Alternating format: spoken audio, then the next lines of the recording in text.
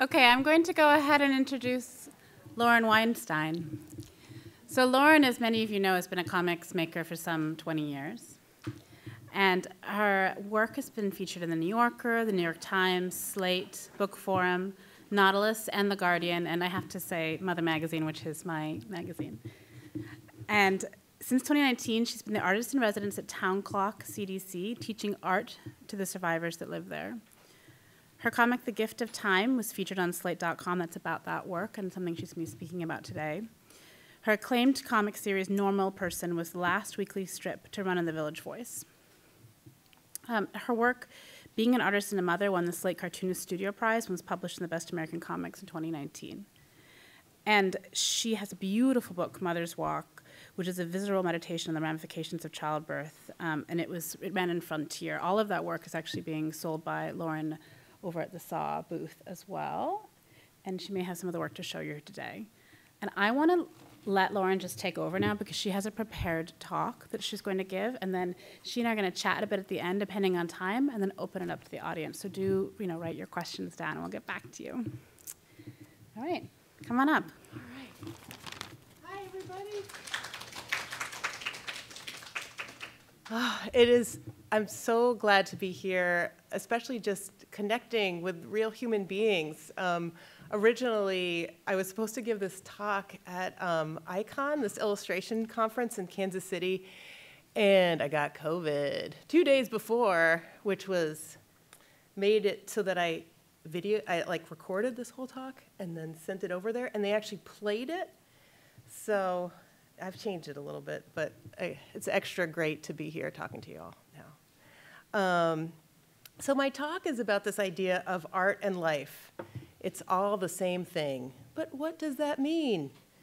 And for me, it's really evolved. Um, I'll start at the beginning. In 2019, right before the pandemic, I had the good fortune of interviewing Aline Kominsky Crumb on stage at the Comic Arts at Comic Arts Brooklyn right before well, I said right before the pandemic.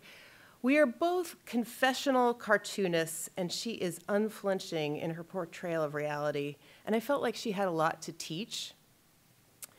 And so she told me four things about the practice of art that have really inspired me.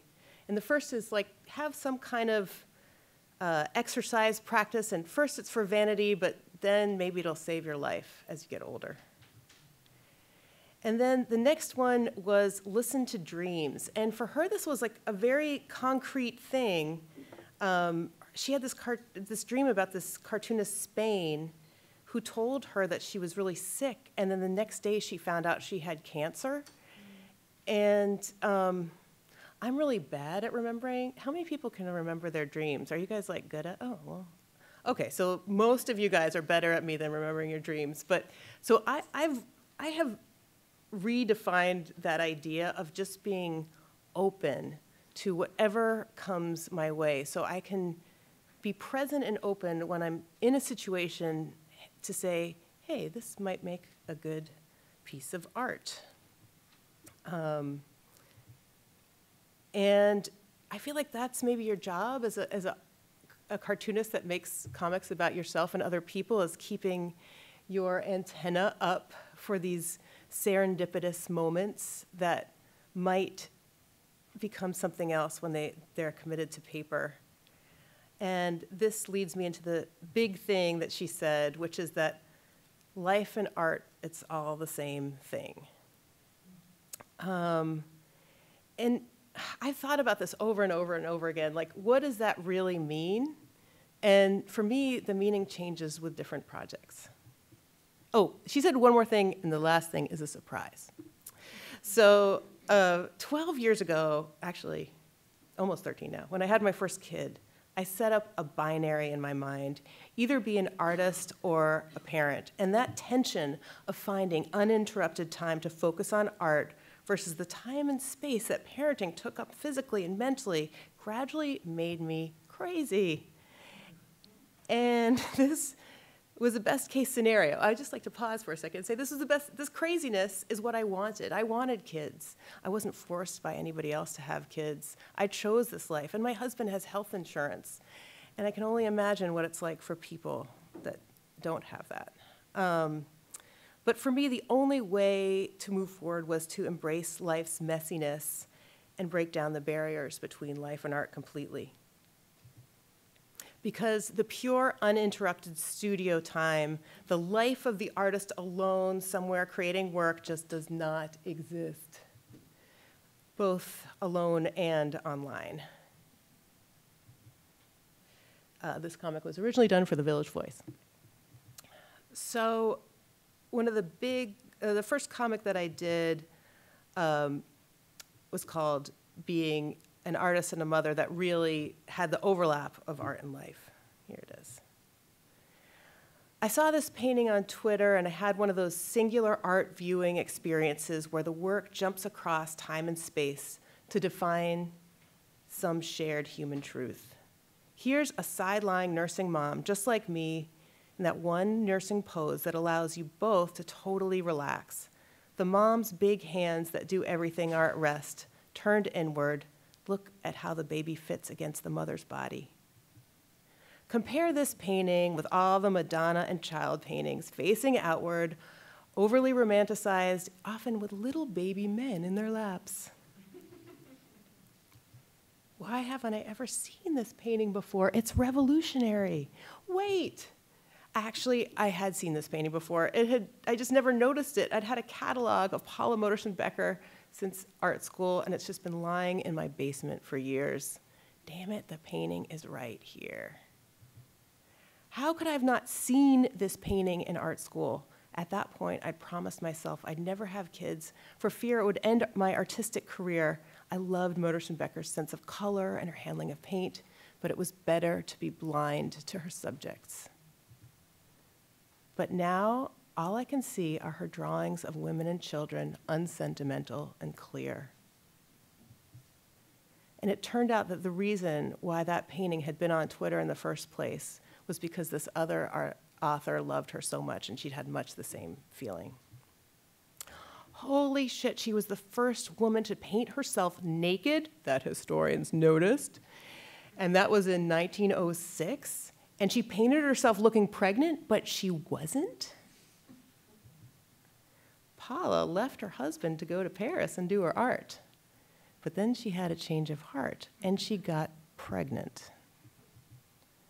And she had really, really, really mixed feelings about uh, being a mom. Then she had her baby. It was a hard birth. They wouldn't let her out of bed afterward. 18 days later, she died of an embolism in her leg. Ever since I got pregnant with my first child eight years ago, now 12, I've been on a mission to record the fleeting growth and change of becoming a mother as a retroactive message to my art school self that says, You don't disappear. But unless you can pay, often you don't have access to your hands. It was until my husband went back to work after his week of paternity leave that I really saw the vast chasm of the gender gap. Overnight, I became financially dependent upon him and then continued to blame myself for not maximizing my meager hours of babysitting time. And then I got a great freelance job, and then that fizzled out, and then things got dark. How do you connect and observe and create at the same time? And I just keep thinking about this over and over again. I don't know. Paula, how would you have managed it? You seem so conflicted about becoming a mom.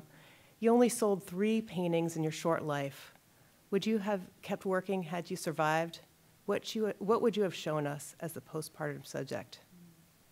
And how many more other Modersohn Beckers are there out there? So then in this comic, I talk about relatability, you know, uh, and, and you just wonder how much more unrelatable art there is that's not put out there in some way. And then finally, I go to the MoMA to see Paula right out in front of all of her, uh, hanging alongside all of her, her peers. And I get this sinking feeling. It's one of her last uh, paintings done when she was uh, pregnant in 1907. What was she thinking? I wish she'd been able to paint more. But then I have to fucking go because I have to take my kid out of the museum. Miwa Abi. So um, I'm always trying to balance life and art with life and ki- with, with my kids, and it seemed especially during the pandemic when we were stuck at home for almost two years, the most practical solution was to make art and life the same. I would always be on the hunt for those moments that stick out. Again, it's like that antenna being up. And I would record their lives for what I felt were historical purposes. I would do these drawings in 20 minute increments while I had Sylvia in virtual preschool. Here she is waiting to get called on. School did not always go so well. But it was so comforting and cathartic that if you treated everything you did like it was art, then life in general would be more beautiful and compelling, even if you weren't making any art. No one ever left. And I was miserable because it was so hard to finish anything. But it was comforting to think that if everything was art, then the piles of toys and excess dog hair was all part of the process. And cleaning and folding laundry was like making a tableau. And on the flip side, if real life was an artistic practice, then gardening was the ultimate art. Even homegrown salad could be a masterpiece. But really, who the fuck cares about my salads? So I did this piece about my eldest getting sick at the beginning of the pandemic for the New Yorker. But I ran into a problem in writing comics about myself. I've always felt that I can share most anything, but sharing about how my kid got sick felt like I'd crossed a line. What, right, what do you have the right to disclose, especially if the person is a minor and is your kid, how willing a collaborator can your kid ever be in your art? How can you deal with a situation, be present for a kid if you're constantly weaving a story about their lives in your mind? And is making art about one's own life healing? Healing for who? Cathartic for who? Or is it just making a performance about something that happened to dissociate from it? And is that okay? But I felt like a boundary needed to be drawn. Art and life were not the same here, and my kid needed to be shielded. So, for many years, I've had this book deal to write a memoir about my childhood, but I've never been able to commit to finishing it. And this was just another situation where uh, I, got, I got this uh, project right before the pandemic which was to um, write about, write and draw and be with other people uh, and write about their lives and teach them to draw comics. And I couldn't pass it down because my antenna like went way up for it. So here's a little bit about that project. It's my first night meeting at Town Clock. Must be weird having graves on your lawn. It's November 2019. I feel anxious and depressed about my country. This is the chance to act and combine the two things that I've done for my entire adult life teaching art and making comics. And if I suck at it, it'll be over in a year. So, this is the executive director of this place. And I say, This, is a, this building is beautiful. It's amazing, the history. And she says, You mean the fire? Yeah, it was right here. In 1971, a man came here looking for his ex, who the church was protecting. She was cleaning the church to give back, and he came in looking for her, and he set this place on fire. And the sanctuary was never properly repaired. So when I became a pastor here around 2000, we began to think about how to rededicate the space. And we said maybe God was trying to tell us something. Maybe we need to house survivors of domestic violence. And um, this place is really special because, unlike most shelters that house uh, domestic violence survivors, they house, they're short term, they house survivors for about six months, but this place is long term, so it provides unlimited long term housing. And it gave me a chance to really follow the women that I was working with. So I could stay there a year, two years, and now it's three years. Part of my job will be to get to know the women, interview them, and make a comic about their lives. Am I up to the task? Will they trust me? Will I do right by them by retelling their stories? Will teaching them art help anything? I did a 30 page comic called The Gift of Time that follows the life of two survivors of domestic abuse. And it turns out that comics are the perfect medium to talk about survivors because you can conceal people's identities. All the survivors that I am showing you are a little different from in real life, and that allows everyone to be safe and comfortable. And it also allowed them to be more candid. And this fiction was really important. So for the first workshop, um, the, the social worker that worked there, she was like, let's do comics, superheroes. And I was like, corny, so corny. Um, but uh, I had some really interesting results. Um, one of the women there, Svetlana, um, she was this amazing renderer, and she invented a superhero alter ego who was an abuser slayer. And I thought, wow, she could be like a concept artist for Marvel. But then she was like, no way, I can't do this. It turned out that she was worried that somehow her picture of this abuser slayer would be used as evidence against her character in court and result in her losing custody of her kid. And later, this constant stress made her drop the class. But as I began to teach more workshops, I began to see the women having the same catharsis as I sometimes do when I make a comic about my own life. Here's an example. I don't know you, how many of you guys are familiar with Ivan Brunetti, but he has this exercise where you draw yourself five minutes, three minutes, and then one minute. And it's to kind of get the essence of yourself as a, uh, from a, an, a drawing to cartooning. Um, but this woman, Daraja, she um, did a completely different thing. She says, um, This is me when I first came to America. This is me when I had my baby alone in the hospital. And this is me now, and I am here, and by the grace of God, things will get better. So I was in way over my head. um, uh, but this assignment opened up this whole way for her to talk about her past, and it was incredible.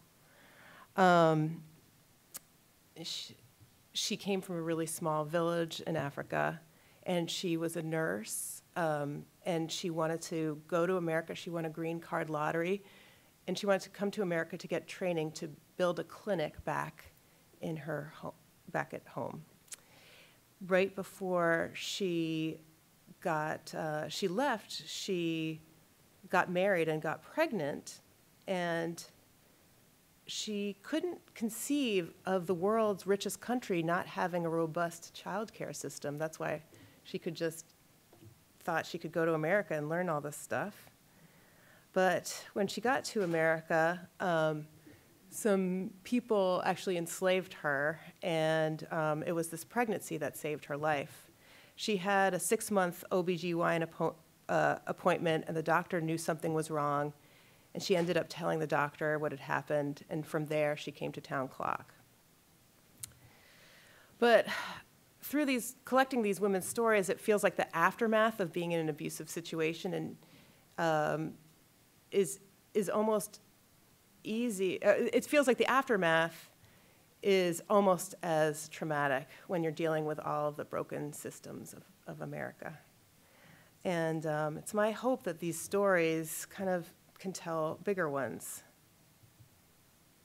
Um, like just this one about trying to get cheap corn. But then, you know, the antenna goes up again, and there are these little just golden moments with her.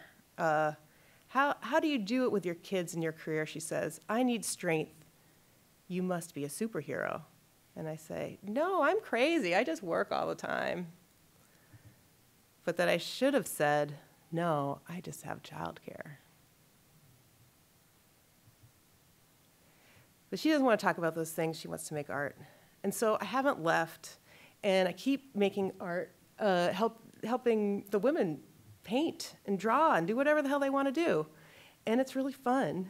Um, and here is uh, Daraja in front of the Chamber of Commerce with all of her art. And she makes these beautiful paintings she'd never painted before. And she makes these works that kind of recollect what her life was like before. She almost has like a weird photographic memory or something. Like she can just kind of put this work out there and it, like, how did she know how to draw a reflection of trees? I don't know. It's amazing. We got a grant um, to go to uh, the Met, and um, Daraja, uh, we saw the Alice Neel show, and Alice Neel is also a, a survivor of, of domestic abuse, and I felt like this would be a great entry place for the women to see the Metropolitan Museum of Art. And Daraja just went forward and touched the art. And and both the executive director and I like reached out to grab her hand to say no, no, and she was really freaked out. She's like, "Why are these women grabbing my hand?" It was she perceived it as like a, you know, violent act almost, and I just realized she'd never been in a situation where there was any situation, uh, any separation between life and art. Why, why was why was the whole thing constructed this way? And it it just made me think about everything so differently. And then one woman um, who was trafficked from the Middle East stood in front of a painting and said, How did this work get here? And then she said, One day I will go back home. And man, I just, I see museums in a completely different way now. It's just a completely, I, yeah. uh, she felt displaced and much like the art. And I've never felt that displacement. So, and here's some of her art. She makes these gorgeous big paintings. So, all this stuff has helped me get back to work on my graphic novel. Uh, the idea that I had to build a fiction around these women to make them comfortable with the process has helped me kind of build a fiction around my own life. But it's also helped me look back um, with a little bit of perspective. And um, so, and I'm trying not to beat myself up. Like if I need to um, put a draw a moon, I'll just cut out a picture of the moon and glue it on because it looks great. Um, and and you know, I grew up thinking we lived in a post-feminist society and that I was free but now it's obvious that there's so much work to do, and I'm through reliv reliving these things in the past, I'm able to look a little more clearly at the present. Like this page about trying to get in with the cool girls, but still wanting to be with the uh, really creepy guy. This story is about my bat mitzvah, and it helps that my eldest daughter is going through her bat mitzvah at the same time. And if you know me right now, I will be rolling around on the floor with stress about planning for her bat mitzvah. But it's allowing me to kind of relive my own bat mitzvah and all the things that were really, really tough about it, and thinking about my uh, relationship with spirituality and religion. And my bat mitzvah was kind of the birth of my atheism, but also my um, birth as an artist. And the party did not go so well. Everybody inhaled in helium balloons, and then we all slam danced and broke up the par- parquet floor. Um, so, anyway, here's the end uh, serendipity. The last thing that Aline Kominsky Crumb said was don't worry about endings. The ending will seem fake. If you force it, the end will find you. So, the final story I'm going to tell walks the, the border between art and life. I have been teaching art to the residents of Town Clock for three years, and I told you Svetlana quit the class because she was real stressed out. And she said, I'm just going to be a hairstylist. I'm no good, um, and I'm not good enough to be a real artist. she got hung up on finishing things. And my background is in teaching college, and I feel like I'm very into having people finishing things. Um, and wait a second. Um, because that's the only way you can evaluate yourself, and finishing things is like pulling cancer out of your body. But um, that is not how everybody at Town Clock sees it because they're just like trying to make art for fun. Um, and so I needed to change my process. And um, the resident therapist at Town Clock, Dr. Debbie, suggested another approach, which would be do a, doing a monoprint workshop where making mistakes was kind of like part of the deal. Um, but we needed these plates, and they were expensive. They're called jelly plates. So at the very same time, uh, there, I had local artist friends saying that said that there's this woman artist that died in my community, and could all the artist teachers come and like clean out her uh, her studio? And I was like, oh, okay, sure. Um, and it was insanity. Um, there are Pez dispensers everywhere uh, 3,800 rubber stamps that had been cataloged from flat fire files, and a man was hauling them out in a truck. and then there were tons of um, paints and inks, and I felt like a jackal gathering whatever I could. And um, there were the jelly plates in the corner. I grabbed them for that thing that De Dr. Debbie. So we made a, an appointment to do the, the monoprint workshop. Um, and then I grabbed all this expensive paper, you know, the kind that you see at Paper Source that's like $30 a sheet. And when you get it, it just sits in your flat file because you have nothing to do with it. It's just so beautiful and perfect. So I brought this paper to Town Clock, and Svetlana happened to be back that week. And she was so thrilled. And she just, and I was like, take it, just take it. And she, so she did. She took like a bunch of sheets, and I, I, I just, and, and it was like she went to a museum just with a stack of paper, and she was just delighted and thrilled. And look at her. and um, so then Daraja comes in, and she just takes all the paper and starts lining it up on the floor and like thinking about how it goes together and all these different patterns, how they work together. And then she starts cutting up the paper and ruining it. and, and, and, but then she has to stop because she's just been hired on as a nurse and she has to work out childcare and she's going to actually get that job. And um, in this moment, I saw heaven.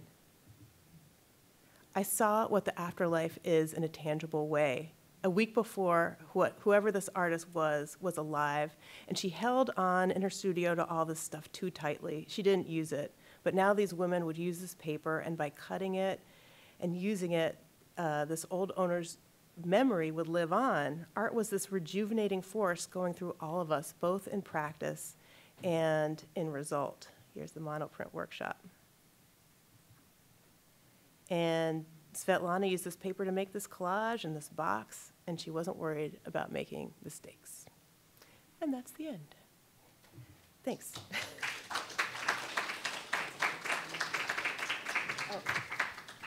And this is $60, but it is uh, for sale at Tom Hart's thing, and all the money goes to Town Clock. So there you go. We're just going to go sit down and start talking to each other.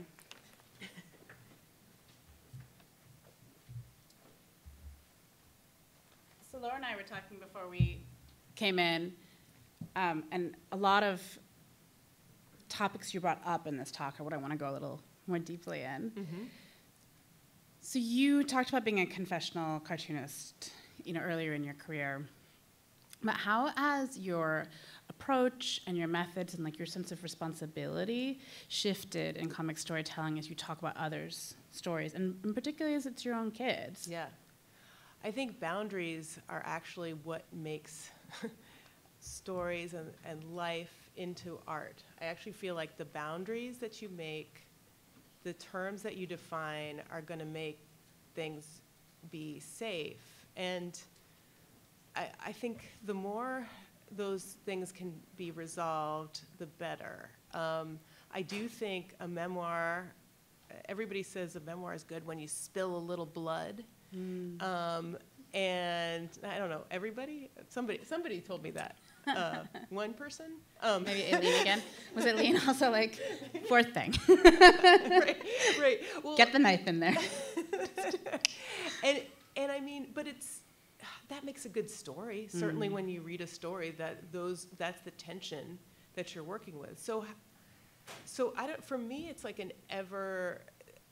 I feel like I do need to draw boundaries with my kids, um, and and I think that's there's a lot of artifice that ends up having to. it- It looks like you know, you, you're just spitting this stuff out, but you're kind of not because you need to figure out where those boundaries are. And everything about predatory social media makes people feel like they just have to vomit it up.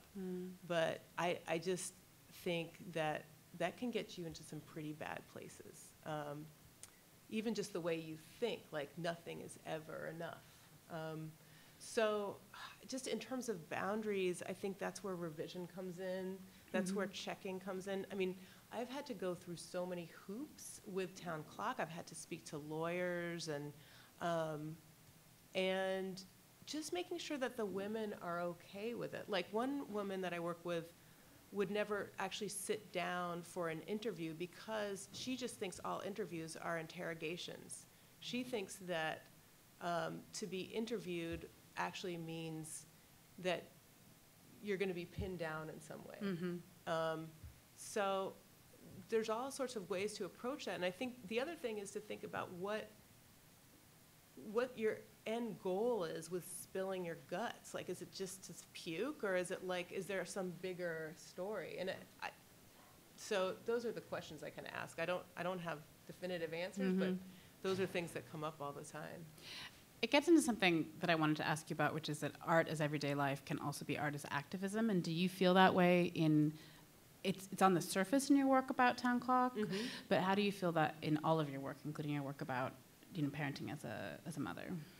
Um, I feel like, yeah, I mean, why would, uh, my mom is an activist, so I'm like always thinking about that in terms of um, what she does. Um, but I, I, I think for me, stories come 1st but the stories that I want to tell, I mean, so like I had this job working for the Village Voice, and I would do a weekly strip every week, and I, I felt like I had to be a you know a little bit political. It was right when Trump was um, elected, but I I just I'm not really a political cartoonist. I feel like I'm a storyteller, so. Um, this was a way to kind of get at that without being so explicit.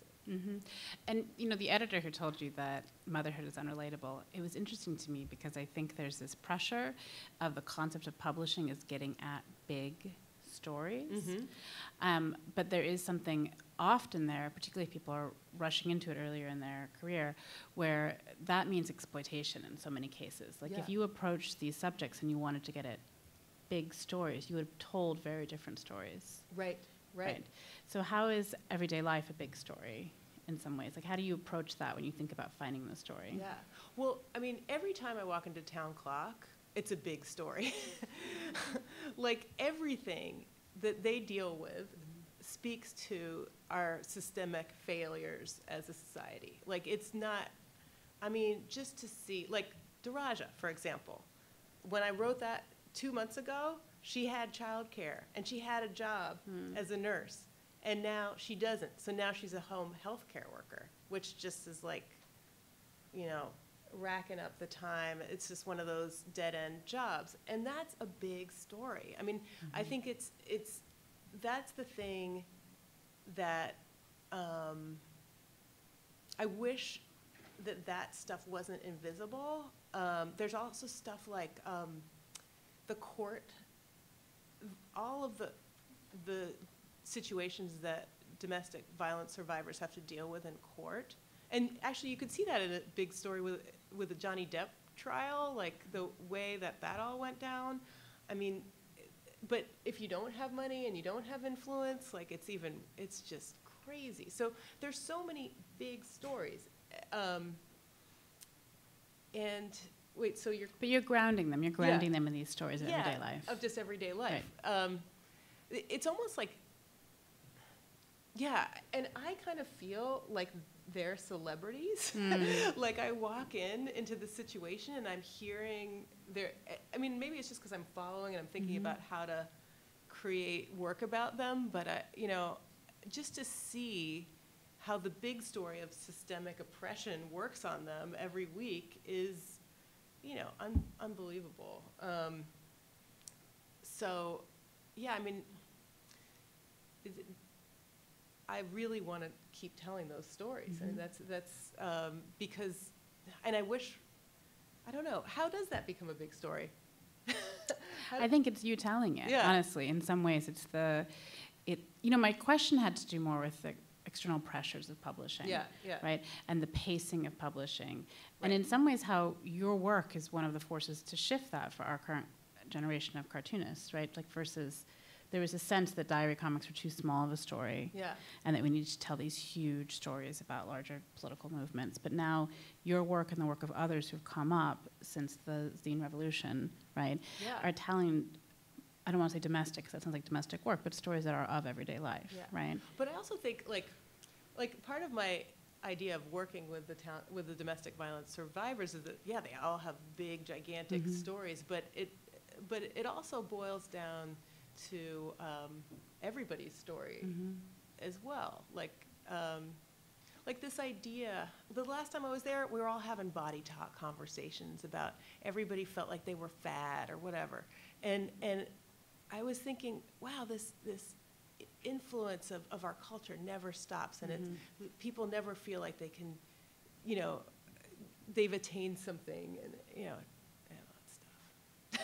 Even when all they need is this time to be safe, they're worried about their body. Right? They're worried about Like appearances versus safety. yeah, yeah, You know, you, you in your opening, you talked about how you've been trying to work on the the, the second book of a two book deal because the first book was Girl Stories, which Yeah. I didn't mention in introduction, but if you haven't read it, it's fantastic. You know, foundational work in Lauren's career and also in our our publishing, you know, period. I think for comics, it really is. It's a beautiful book, but you haven't you, you've tried to come back to it again and again. It always feels like you're saying like I haven't done it now, but you've done all this other work in the meantime. This Mhm. work with Town Clock, this uh, work with Mother's Walk that's gotten and reached an audience. Mhm. So what's made that the right work for you to do right now, and how does it, how does it inform the other work that you've been having ongoing? and you touch on this, but maybe we can talk more about it. Like, what is it about writing about being a mother that helps you write about being a child, like being mothered?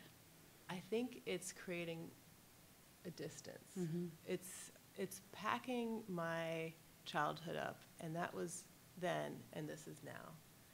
And um, I actually just ha- I've been having real difficulty planning my daughter's bat mitzvah, uh, as I said. I'll probably talk about it a lot, but um, I actually just made an appointment with the clergy because I was like, hey, my bat mitzvah was really traumatic. I kind of hated everything about it. I need a new role here. Mhm. Um, and maybe it was just because it was the first time I had a panic attack. like maybe it was, maybe it has nothing to do with religion. Maybe it has something to do with religion, but I, if you pin me down on anything about Judaism, I'm not like, I could take or leave. Um, so, but maybe it was just this first systemic overload. Mm. um, and so it's helping me package things up. It really is. And um, so that's, that's kind of where I'm coming from right now. How has your actual drawing changed in the time that you've been doing this work as a mother and an artist? Um, it's, it's loosened up a lot. I'm Mhm. trying to figure out how to be more direct and faster. Um, I, I mean, I don't know, it depends. It, the thing is that right now, I'm kind of doing whatever the hell I want to with a book. That's my big idea. And so if there's like a dream sequence, I'll just change it into colored pencil because I was working Mhm. in colored pencil for a little while. If I want to try and do part of it on my iPad, I can too. Um, so things have really kind of, uh, I've changed styles and but I feel like I can cuz why not? Like comics there's always this thing about people being really consistent. And why not change it up? People can figure that out. You mean the reader, like the Yeah, the reader, reader. can figure it out? yeah, the reader will be able to figure it out. How are we doing on time? I forgot to bring, where's our timekeeper? Fif- 15 minutes? Oh, cool. Okay, so maybe you and I can do more, one more question, and then I do want to give people in the audience a chance to ask questions. Um, I wanted to ask you this very, like, sort of teacherly question, but it's something I'm curious about. Is there a moment in your art life where you faced a challenge that felt like, I, I can't get past this in, in doing this work? And then, like, what actually changed? Like, what surprised you? Um, hmm. and it can be the pandemic, which I think is, you kind of go over this in your talk. but- Yeah, I mean, I've always, I actually feel like right now, if I'm going to be totally honest, I feel like right now I've hit kind of, I'm, I always used to chase shiny objects, like, um, uh, like get something in the New Yorker, um, and that always took time away from my graphic novel, and so, and then I would teach, and that would take time away from my graphic novel. And so I'm actively trying to quit all of those things, and I feel like I've hit rock bottom. so thank you for coming, and uh, but uh, but but in that way, all I can do is just work on my graphic Right. novel because like that's all signs point to that. Like I, um, so that's uh, it's kind of like now. Maybe it's now. Like I, it's right now. Um, so yeah, I don't know. That and the salads. I was saying outside, like, you know, The salads, yeah, when you've gone to salads, it's, time. she's just showing off then. She's like, it's really hard being mother. I did make these salads. well, I got really, you know what? I'll always find something to distract myself because I got really into gardening when I moved to New mm-hmm. Jersey. I was like, okay, I'm in New Jersey. I have to be like the world's greatest gardener now. But now, like this year, there was a drought and nothing grew. So I'm like, fuck this. now I have to draw my book. okay, let's get some questions for Lauren. Does anybody have a question and want to go over to the mic? I have microphones on both sides of the room. You can come up and ask your questions. Anyone? Oh, here's here's a question. Here's a question. You want to can we, can we, you want to go up to the mic, or maybe we can have it come down to you. Here we go. I have more questions, you guys. So. You don't have any questions. Um, hi. I was just wondering, it does sound like you were able to kind of tell these big stories from your daily life. And you talked about the idea of the antenna, having the antenna on all the time. And I'm wondering if you have some kind of process where you're like, yeah, I should really look into this. I should really focus on this idea. I think it's going to bring me somewhere or or not because I feel like it sounds like you're like very attentive to you know your life and your family and what goes around you but at the same time like you're able to make that universal and i wonder like how do you decide yes i'm going to go for this one and not for another one Well, badly because I'm always taking on these new things. But um, but, but I also um, uh, I don't know when there's something really intriguing about a story that I just can't like the fire burning the the church down that the residents of town clock. I was like, that's like a no brainer. Like I got to take that one on. Um, but other small things like. Um, what I'm doing right now, actually, that's really helpful, um, and I think this is one of those like rock bottom things, is uh, I'm taking, I printed out panel paper, and every morning I wake up with a lot of anxiety, and I just write, kind of like, I don't know if you guys have heard of the writer's way, where you like do three pages of something. So I started writing, and I'm like, wait, I'm a cartoonist. Like, why am I writing? And so I started just doing it on panel paper. And having this backlog recorded has been fantastic because that allows me, when I have a little more time, to go back to it and say, oh, that's interesting, and that's interesting. Because certain things won't be, are kind of good as a story, but then they're not good as a comic. And so you really have to see how it looks on paper. Um, uh, before, you know. Do you mean you're writing about what you're anxious about, or are you writing about memory? Like you wake up and try, and you have a memory? It's whatever. I, Okay. ha- I try and not do any, I try and not put any, um, any, you know, uh, Limits. limits, Mhm. Mhm, limits on it.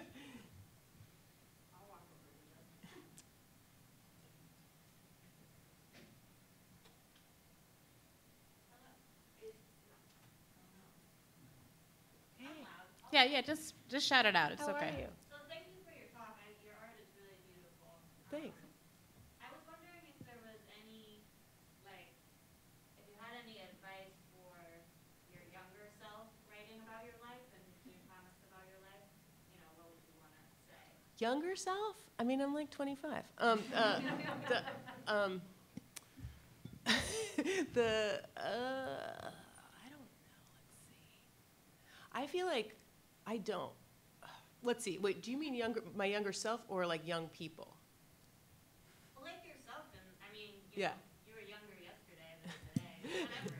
Um,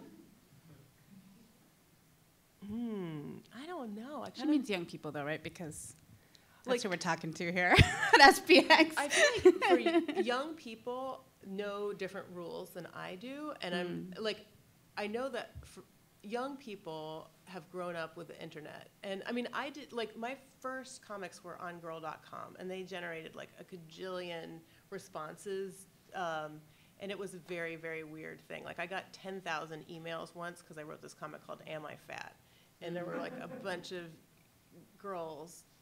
It, it was very intense. Um, and the world has evolved, and I think with every media platform, you know, people evolve a way of, of talking and making art on it um, that I think is, I, I feel like I'm looking at, you know, younger people and seeing how they, how they function online and seeing if it works for me, or maybe it does, maybe it doesn't. Um, but in terms of my younger self, I don't know, I just feel like I had to make things and do whatever I was doing, and I, I don't know, I don't, I don't want to second guess anything, any of the really bad choices I made. Yeah, Karen, oh, sorry, yes. no, no, it's good. Is that right? Okay. So, um, you talked about the advice you got from Elaine, Mm-hmm. which is amazing, and you talked about the way working with the women at Town Clock have changed the way you've looked at life, and now you're seeing life in art, and now you're seeing the way these things intersect. And I'm wondering if you look back at your earlier work, do you think you were doing that unconsciously, or do you see a, a Hmm. strong break between the way you approach art and life before these experiences and the way you approach it since? Hmm. I think the experience of being a parent has been the thing that has changed everything about the world. Like I can see a break there more than anything else. And unfortunately, the experience of bring, being a parent, like I could handle my anxiety and pulling all nighters without kids just fine. It was just like I put that away and but you can't do that with kids. Like you have to be um, a you have to switch. Your mind has to go from this like very internal space to this external space so often. So that's changed the way I approach both things. Like I think that um, being um, it, I'm always, I always feel like I'm running from one thing to the next thing, and maybe I had that feeling before, but, um, and then, but I think the number one thing is like, don't beat yourself up, because, like, you also don't want to beat up your kids. I mean, not literally and figuratively, but you know, like, like, uh, if if that kind of like you have to be everything all the time is like such a thing in our society, and um, so I'm I'm trying not to do that, and I see it in my mom. Uh, again, she was just at the White House helping them sign that that bill, the infrastructure bill, and everything. Like she's like, you know, but she never stops, and she's like. And it's hard. It's hard to watch. It's hard to watch this incredible person um, have, you know, health problems because she's never ever slept. Because sh- the whole thing with her and feminism was, you can have it all if you don't sleep. So, so that's you know that's been the thing that I have tried really tried not to do. Mm. Um, and so yeah. One more? Do we have anyone else here? Um, I, I was wondering if, um, if there were any stories you were excited to kind of get out into the world that you then had to kind of hide away because someone wasn't happy being part of it? Mm. Or Mhm. something that you're maybe not comfortable doing while a certain person is still alive or something? Yeah, oh yeah, there's a lot of stuff like that.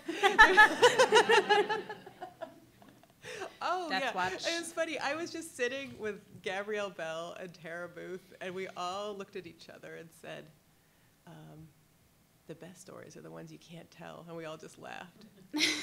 and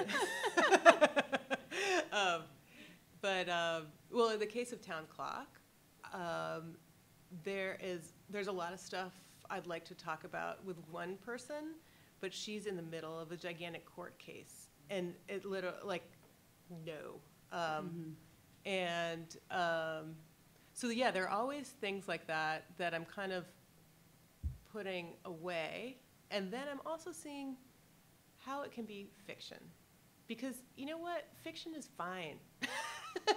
like like like it doesn't have to like i hate this thing where they put a stamp on the memoir where it's like if it's not super true i mean i get like how that's problematic if somebody's like yeah i would save babies and then they didn't but um but if if the essential truth is there then and you're protecting somebody then i think that's really really important um, to be able to i wish there was more kind of acceptance of that and maybe there is The autofiction. yeah, the autofiction. I think autofiction is the way to go. Rachel Masilamani calls it autobiofictionography. Yeah, and it, but I think she took that from Lynda Barry. She maybe did. I don't know. Yeah, Well then, Lynda Barry says that. yeah. Well, if she said it, then That's true. Yeah. it is what it is, right? uh, yeah. I think that was time. Thank you so much, Lauren. Thank I'm you. such a huge fan. A real honor to talk with you. Thanks. Thank you.